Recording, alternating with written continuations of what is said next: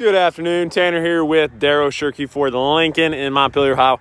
And in front of me, I have our 2013 Chevy Equinox. Just gonna do a quick walk around of the exterior for you. Glad it's a sunny day. White looks, the white and black color combo looks great when the weather looks good like this. I do not smoke, so I can confirm this is a non-smoker.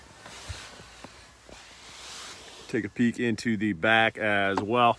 No rips on these seats burn holes, anything like that.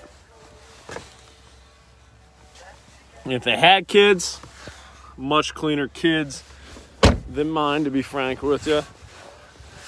All-wheel drive, always a plus.